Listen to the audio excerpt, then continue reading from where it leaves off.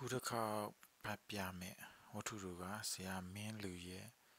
ပိတ်ကားပေါ်တွင်ဆက်လက်ရှုစားပါဆိုတော့ဝတ္ထုတို့ကခါတိုင်းနေများလိုပဲမနေ့9နာရီအိယာမှနိုးသည်မျက်နာတစ်ပြီးကော်ဖီပူပူကိုတဝက်လောက်တောက်တယ်ပြီးတော့လေးချင်ကန်လုပ်တယ်အထူးသဖြင့်ခါလေးချင်ကန်ခါမထွက်အောင်ဘိုက်ခေါက်မထွက်အောင်ပါ လေ့ကျင့်ပြီးတော့ရေချိုးတယ်အနေငယ်အလှပြင်းတယ်အဝက်စားလဲတယ်ပြီးတော့ဒေါ်လေးပြင်ဆင်ထားတဲ့မဝင်းငါကိုစားတယ်ကော်ဖီတစ်ခွက်ထပ်တောက်တယ်၈နိုင်ခွဲမှာအစင်းသင်းဖြစ်နေပြီ9နာရီကာလာချိုမယ်အင်းရှိခန်းမှာထိုင်ဆောင်တယ်ရုပ်ရှင်မဂဇင်းလို့ယူယူပြီးသူ့အကြောင်းရေးထားတဲ့ဆောင်းပါးကိုတတိယအချိန်ဖတ်တယ်ပြီးခဲ့တဲ့ဇက်ကားနကားမှာဒုတိယမင်းသမီးဖြစ်သူတရုတ်ဆောင်ကောင်းခဲ့ပုံအကြောင်း ယခုရိုက်ကူးစေပိတ်ကားပေါ်တွင်ဆက်လက်ရှုစားပါဇက်ကားမှာခေါင်းဆောင်မင်းသမီးအဖြစ်ပါဝင်ပြီးဖြစ်ကြောင်းရေချင်းပြေဝသူဖြစ်ပြီးအောင်မြင်မိမှာတေချာကြောင်းပါဝင်တယ်သူကြည်နဲ့နှစ်သိမ့်နေစေတယ်လီဖုန်းခေါင်းလုံးတန်မြည်လာတဲ့ကြောင့်သူစက္ကနဲ့လန့်သွားတယ်ခေါင်းလုံးတန်နောက်တစ်ချိန်ထပ်မြည်လာတယ်တယ်လီဖုန်းရှိရသူသူခပ်ဖြည်းပြီးရှောက်သွားတယ် ဒေါ်လေးပြေးထွက်လာပြီးသူ့ကိုမြင်မှနောက်ဖေးကိုပြန်ဝင်သွားတယ်ဟယ်လိုအတင်လားဟုတ်ကဲ့အကိုကြီးပါဟုတ်ကဲ့အကိုကြီးဒီနေ့ရှူတင်ကိုမလာနိုင်ဘူးလီလန်ကိစ္စတွေရှိနေလို့အဲ့ဒါသူဘာမှပြန်မပြောဘဲနားထောင်နေလိုက်တယ်တစ်ဖက်မှာဆက်ပြောတယ်အဲ့ဒါခြံထဲကိုလာခဲ့မလားရှူတင်ကစောစောပြီးပါမလားပြီးပါတယ်မ င်းသားက6နာရီအထိပဲရမယ်လို့ပြောထားတယ်။သူပြန်မဖြေ။ဟမ်ဘယ်လိုလဲကွယ်။ဟုတ်ကဲ့အဆင်ပြေရင်လာခဲ့ပါမယ်။ Okay နော်အတန်ကိုနှိမ့်ရဲ့။ဆော့ဆော့ကလေးကဖုံးဆက်မလို့ဟာအင်းကဟာကြီးရှိနေလို့အခုသူသွားလို့ဆက်တာဒီနေ့ဝိုင်းရှိတယ်ထင်တယ်။သူဖရဲတတာပဲကောင်းကောင်းရဲ့ဟေးဟေး။သူကလည်းနည်းနည်းရဲ့ ညနေဆောင်မယ်နော်အော်ဒါနဲ့ညနေကျရင်အတင်ကိုပြစရာတခုရှိတယ်ဘာလဲလို့လွတ်ခနဲ့မေးမိတယ်အော်ဟိုဟူပြောလို့ဘယ်ဖြစ်မလဲညနေကျမှအံ့ဩသွားအောင်ပြမယ်အတင်ကလည်းအေးအေးချလိုက်ရှင်အော်မဟုတ်ပါဘူးဒီမှာပစ္စည်းတွေလာချလို့ဒါပဲနော်ဘိုင်း ပြစ်ဆိုတော့တမတယ်လီဖုန်းနံပါတ်နဲ့ရအနံတန်ပြီလို့ပြခြင်းဖြစ်ပါတယ်သူနားလည်လိုက်တယ်ညနေကျရင်ဆွဲကြိုးနံကတ်လက်စွပ်တခုခုတော့သူရပါလိမ့်မယ်အကျိုးပြုရုပ်ရှင်ဖြန့်ချီရေးပိုင်ရှင်ဦးကျင်တီဖြစ်ပါတယ်အသက်50နီးပါးရှိပြီဖြစ်တော့လဲတမ်းမာဖြတ်လက်တုံးစီးပွားရေးလုပ်ငန်းကိုကြဲကြဲပြန့်ပြန့်လုပ်တယ်မော်တော်တွေရှိတယ် အဝေးပြေးကုန်တင်ကားထောင်ထားတယ်လေလံဆွဲတယ်ရိုက်ပြီးသားရုပ်ရှင်ဇာတ်ကားတွေဝယ်ယူဖြန့်ချီတဲ့ကဲ့သို့ကိုယ်တိုင်ငွေရင်းဆိုင်ထုတ်လုပ်ဖြန့်ချီခြင်းကိုလည်းပြုလုပ်တယ်ပိတ်ကားပေါ်တွင်ဆက်လက်ရှူစားပါဆိုတဲ့ဇာတ်ကားအတွက်ငွေရင်းစိုက်ထုတ်သူမှလည်းဥကျင်တီပင်ဒီဇာတ်ကားတွင်သူ့ကိုခေါင်းဆောင်မင်းသမီးအဖြစ်တင်ရရန်ဆုံးဖြတ်ခဲ့သူမှလည်းဥကျင်တီပင်ဒီလောက်ဆိုရင်သူတို့နှစ်ယောက်ရဲ့အခြေအနေကိုနားလည်လောက်ပြီးထင်ပါတယ် တခုတော့ကြံသေးတယ်ခုနတယ်လီဖုန်းပြောစဉ်ကခြံကိုလာခဲ့မလားဆိုတော့ဦးချင်းတီရဲ့စကားခြံဆိုဒီမှာကမာရွတ်ဘက်ကခြံဝင်းတစ်ခုရင်းအိမ်မှာအိမ်ကလေးတစ်လုံးခြံဆောင်တယောက်ကလွယ်ရဘသူမှမရှိမှန်တယ်သူတို့နှစ်ယောက်ချင်းတွေ့နေကြနေရအိမ်ရှိမှကားဟွန်းတန်ကြားရတယ်မမကားရောက်ပြီလို့လာမပြောပဲဟွန်းတီးရခေါ်လို့ကြောင့်ဒရိုင်ဘာကောင်းလေးမဟုတ်ကြောင်းသိတယ် ဦးကျင်ဒီရဲ့သားအကြီးအောင်ဖြစ်ရမယ်ဒေါ်လေးကားရောက်ပြီဟိုလှမ်းပြောလိုက်တယ်ဒေါ်လေးကစပင်ကိုပိုင်ရင်တုတ်တီးတုတ်ပြထွက်လာတယ်သူကင်ထားတဲ့အဝတ်စားတစ်တာကိုကော်လေးလာဆွဲတယ်နေပါစေဒေါ်လေးကျမဘာသာကင်မယ်လို့သူထင်ထားတဲ့အတိုင်းဦးကျင်ဒီရဲ့သားလာကြိုခြင်းဖြစ်တယ်ကားရှိမှန်တကားကိုအစင်းသင်းဖွင့်ထားသောကြောင့်ရှိမှပဲထိုင်စီလူချောင်းတည်တာတယ် သူရှေ့မှာဝင်ထိုင်လိုက်တယ်ဒေါ်လေးကအနောက်ခန်းမှာအလိုက်သွေးစာဝင်ထိုင်လိုက်တယ်ဒေါ်လေးဆိုဒီကလည်းရုပ်သေးအုတ်ထင်းသူများတာတစ်တာကိုနောက်ခန်းထဲထားလိုက်ပါလားပြောပြောဆိုဆိုလက်ကင်တစ်တာကိုကင်ထားတဲ့သူ့လက်ပေါ်ကိုအုပ်ဖွဲ့၍ကင်တယ်သူမသိချင်အောင်ဆောင်ရင်လက်ကိုရုပ်လိုက်တယ်ဒီလောက်တော့ကိစ္စမရှိရိုက်ခွင်းပေါ်ရောက်ရင်မင်းသားရဲ့ပွေဖက်ခြင်းကိုခံရအောင်မယ်အလုတ်တော်ပဲထားပါတော့ မြမြတင်ခေါ်ရုပ်ရှင်မင်းသမီးဒေဝီစတီရီယိုရောက်သွားတဲ့အချိန်မှာတယောက်တော့သူမှလဲရလူဆုံနေပြီသူနဲ့တွဲဖက်သေးဥဆောင်ရမယ်မင်းသမီးကြီးပဲရောက်နေပြီဒါရတာကိုကျော်စိန်ကဆက်အဖွဲ့သားနဲ့ရည်နွေးချမ်းတောင်းရင်စကားပြောနေကြတယ်မင်းသမီးကြီးကိုပြုံးပြနှုတ်ဆက်ပြီးတော့ကိုကျော်စိန်ကြီးရှောက်သွားတယ်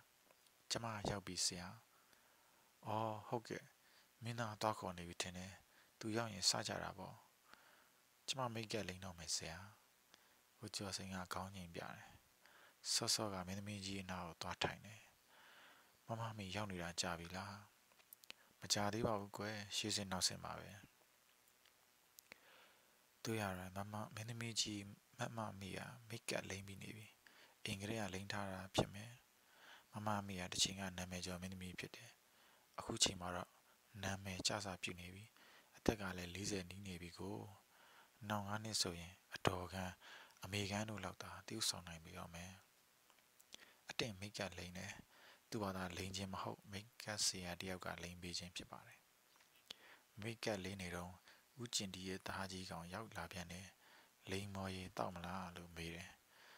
မမမေရှိနေတဲ့သူတယောက်တည်းကြွက်၍မေးတော့ကြောင့်မမကိုအားနာသွားတယ်မမမေတောက်မလား ကိုအတင်ကလှမ်းမေးတယ်မမမေကပြုံးပြီးခေါင်းခါပြတယ်သူလည်းခေါင်းခါလိုက်တယ်နောက်ဆုံးကြံရှိနေတော့သူရောက်လာတယ်သူမရှိရင်ဘာမှလုပ်လို့မရနိုင်လောက်အောင်အရေးပါတော့သူအားလုံးကကိုထက်လို့ခေါ်ကြတဲ့နိုင်ငံကျော်မင်းသားသူထက်သူသူဒီအတန်ငယ်ပွေတယ်သူကတော့ရိုက်ကောပုံနဲ့ရိုက်ကွင်းပေါ်မှာစီကံရှိတယ်သူတာဝန်သူကြည်ပြုံးတယ် နောက်ကြမှာရောက်တက်ခြင်းနဲ့စောစောပြန်လို့ခြင်းကိုတော့နိုင်ငံကျော်မင်းသားမှုခွင့်လွှတ်နိုင်စရာရှိပါတယ်သူဒီလဲကိုကျော်စိန်လိုအလျင်ဦးစွာတွားရောက်နှုတ်ဆက်နာမည်ကျော်ရုပ်ရှင်မင်းသားမင်းသမီးတို့ကမာနကြည့်တယ်ဒါရိုက်တာကိုဂယုဓမ္မမပြုတ်ဘူးထင်နေကြသည်မှာတချို့တော့မှန်ပါတယ်နာမည်မရသေးတော့နာမည်ရတော့လဲအရေးချင်းသိမရှိတော့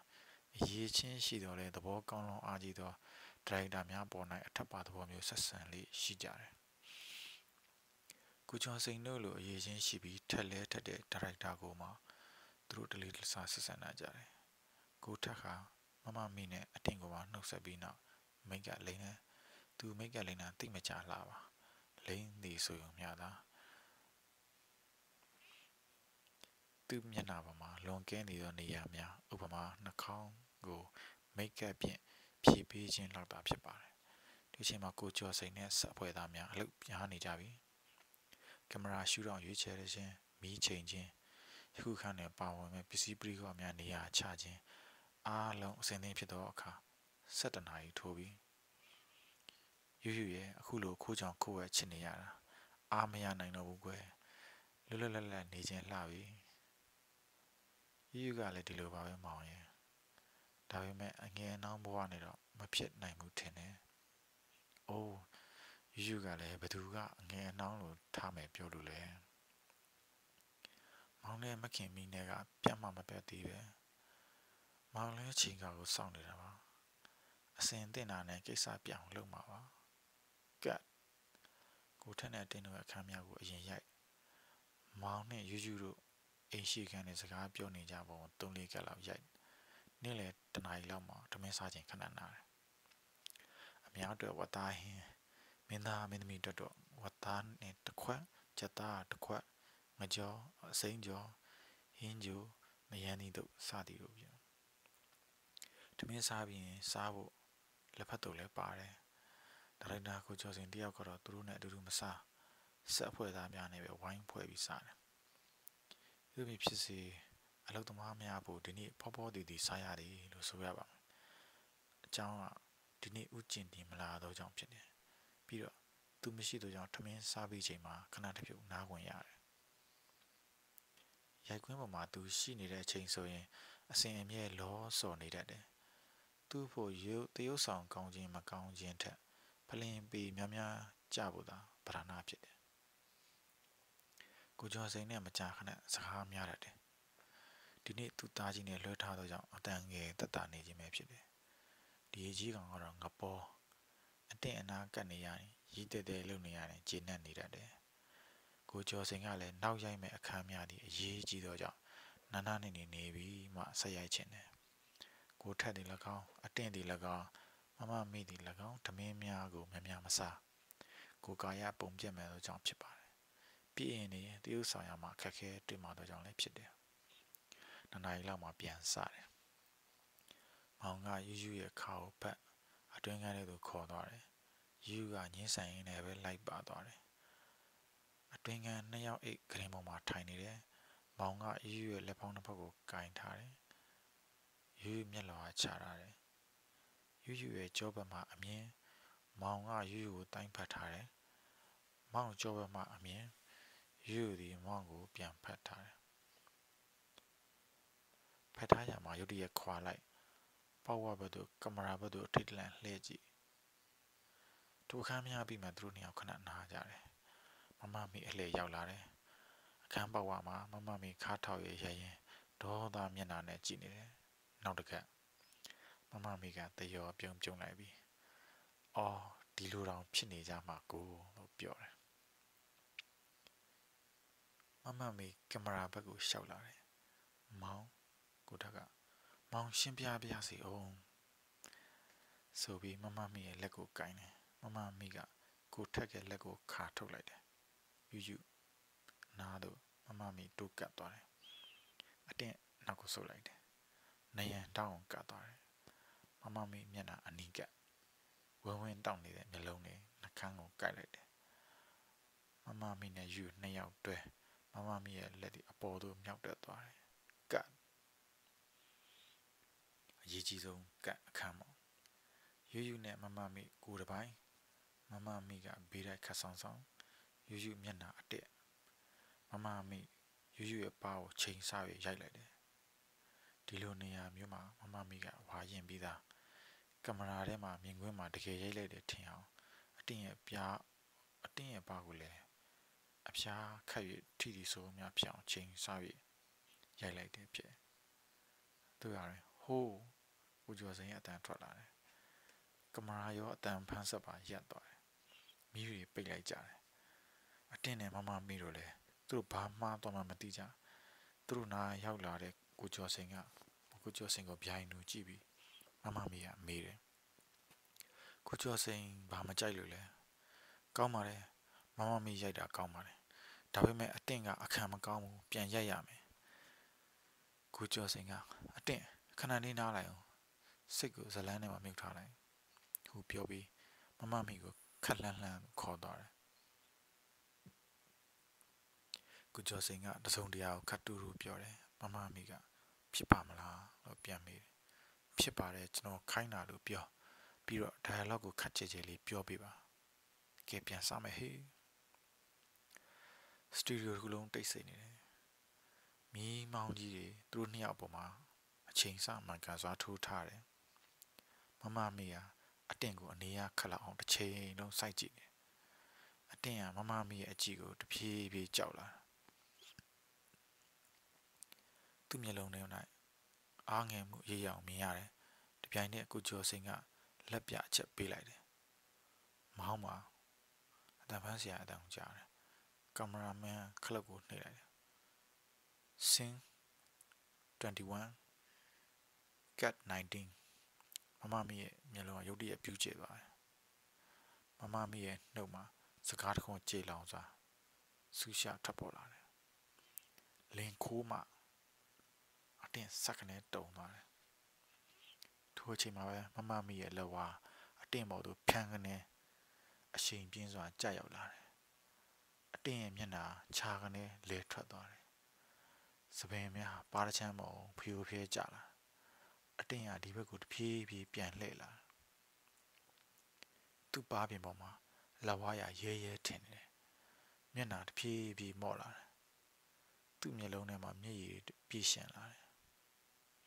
လိုလျောက်ကျလာတဲ့မျက်ရည်သူ့ကြည်အားထိတ်လန့်ခြင်းဝမ်းနည်းခြင်းနာကျင်ခြင်းအတနာခံခြင်းတို့ရောထွေးလျက်ပေါ့သူနှခမ်းတို့ဟာတရွရွလှုပ်နေတော့လဲစကားသံထွက်ပေါ်ရမလာခဲ့ သူ့ရင်ထဲမှာတကယ်ပဲနာနာကြီးကြီးခံစားနေရတယ်လီခိုးမဆိုတဲ့စကားသံသူ့အုံနောက်ထဲပြည့်သိပ်စူဝေနေတယ်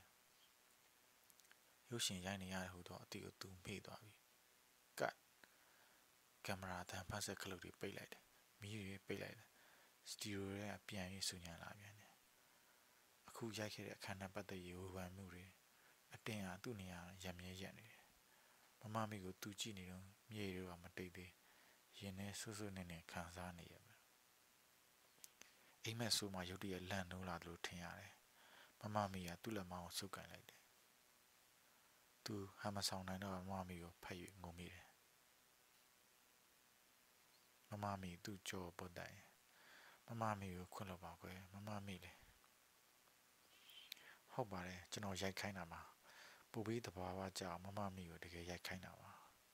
ကိုကျော်စိန်ကဝင်ပြောတယ်အတင်းအစကားတခုမှပဲပြန်မပြောနိုင်တလိုက်လိုက်ဝမ်းနေနေတော့တဆက်ဆိုင်ကိုနေတော့မမမီယာအတင်းရဲ့မိစေကလေးကိုဆွဲမျက်နှာကိုမော့စီပြီးတော့ပြောတယ်အတင်းအဲ့ဒါအကယ်ဒမီရှော့ပဲသိလားထိုခါကျမှပိုးပြီးငိုချင်လာတယ် အတင်းကကားပေါ်မှာငြိမ်သက်တိတ်ဆိတ်စွာလိုက်ပါလာတယ်ဒေါ်လေးကဘာစကားမှမပြောပဲကားပြင်ကိုငေးကြည့်တယ်အတင်းရဲ့စိတ်ထဲမှာနောက်ဆုံးရိုက်ခဲ့တဲ့အခန်းကိုဆွဲလန်းနေတယ်ကားမောင်းနေတဲ့ကောင်လေးကမမအိမ်ပြန်มาလားလို့မေးတယ်သူခဏတော့စဉ်းစားတယ်ခေါင်းကိုဖြင်းချင်းစွာခါတယ်တပြင်းတစ်ချက်ကိုစိတ်မသက်သာစွာချတယ်သူပြန်ပြောတယ်ခြံကိုမောင်းကွယ်ဘာပေါ်မှာ အရိုက်ခံရတဲ့နေရာကိုကန်ချင်းမိတယ်ခုဒီဆက်ဖြင်းဖြင်းဖြစ်နေတော့မယ်အဲ့ဒါအကယ်ဒမီရှော့လို့ပြောလိုက်တဲ့မမမေရဲ့စကားကိုသတိရတဲ့အခါကြည်၍ပြုံးမိပြန်တယ်ဒီထဲမှာဝတ္ထုတို့ပြီးပါပြီနောက်တော့မလေးတော့အလုံးကိုကျေးဇူးတင်ပါတယ်